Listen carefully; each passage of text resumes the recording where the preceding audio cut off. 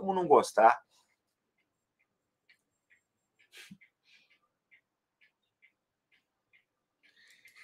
Se o Enéas tivesse sido eleito hoje no Brasil, eu não sei. Eu nunca vou saber. Mas eu vou dizer para vocês o que acontece, gente.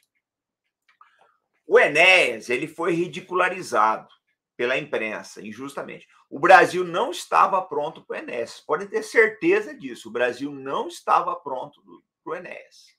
Ele não estava pronto. Uma realidade. Esquece, ele não estava pronto. Se o Brasil vai estar pronto para um presidente nacionalista, não sei. Não sei. Porque tudo é a sociedade. O dia que o clamor bater forte na sociedade, ela vai exigir um nacionalista. O dia que o clamor bater forte. Hoje eu não sei. É, Lucas. Mas acabar aqui, eu tenho que dar uns telefonemas, cara.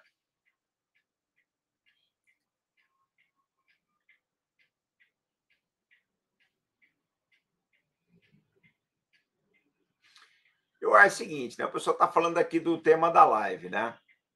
Eu, eu, vejo a coisa dessa forma, gente. Eu não acho que vai haver uma, uma dissolução da OTAN, eu não acho. Mas ela já é bom que a China comece a questionar a OTAN, cara. É bom que se comece a questionar. É bom que vocês comecem a questionar a OTAN. Tem 4 mil pessoas nessa live. Se 4 mil pessoas questionarem, é muita coisa, gente. É muita coisa. A OTAN ela vai entrar numa situação complicada agora, porque eu mostrei para vocês a inflação. Ó, quer ver? Eu vou mostrar uma outra coisa. Vocês têm que ver também. Olha aqui, ó. Olha aqui, ó. Vamos achar aqui. Olha aqui, ó. Isso aqui são os preços do gás. Olha esse, essa estatística mais ao canto aqui. Olha aqui, ó. Isso aqui mais ao canto. Tá vendo? Ela tinha atingido o pico mais ou menos em outubro, novembro, com as, as, as manobras russas. Agora ela voltou, ela está tá perto do pico de novo, gente. Está perto do pico de novo. Sinceramente, eu, eu não acho que isso daí é um, é um indicativo muito bom, não. A Europa vai pagar conta. A Europa vai pagar três contas, gente. A inflação, os refugiados e a OTAN. A inflação, os refugiados, a OTAN.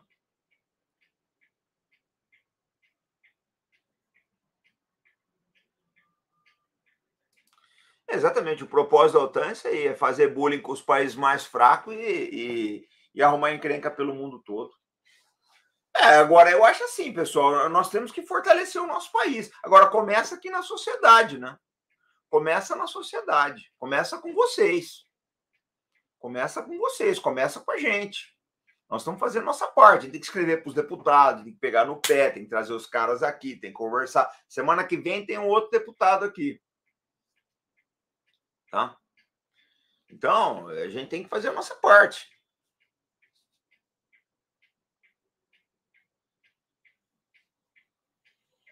Ô Sidney, o Enéas, ele foi uma coisa precoce o país não estava pronto para o Enéas, não estava pronto para ele. É uma realidade. O Enéas, na minha opinião, ele veio para ser precursor. A missão do Enéas aqui, eu acho que ele cumpriu com brilhantismo. A missão dele na Terra era ser o precursor, tanto que nós estamos falando dele, cara. Você acha que ele morreu? Eu não acho, ele está mais vivo do que nunca. Ele cumpriu a missão dele, eu não tenho dúvida, Sidney. A missão de um homem não, não se encerra com ele mesmo. O Enéas abriu, ele foi o precursor, ele trouxe o discurso. Nós, nós falamos dele quase toda live, o nome dele vem, a, vem à tona, gente. Quase toda live. Você acha que um homem desse morreu? Ele não morreu. Pois é, mas ele estava há 30 anos. Só que é, o que ele plantou está sendo colhido agora, cara. Nós temos a oportunidade agora, né, de colher essa e ir para frente, ir para cima, cara. Ir para cima. O nome dele tem que ser um símbolo. O nome dele tem que ser um símbolo.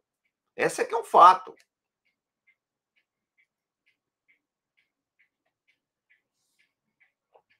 Exatamente, o legado dele permanece. Eu acho que a missão do Enéas foi bem sucedida, gente.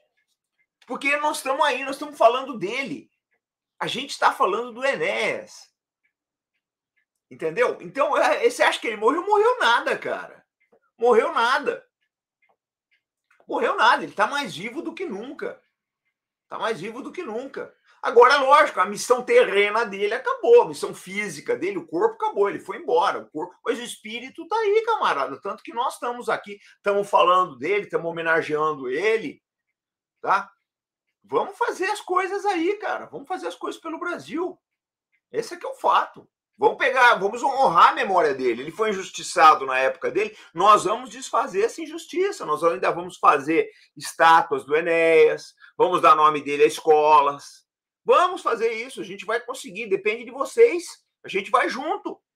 Agora, vocês têm que lutar também, né, pessoal?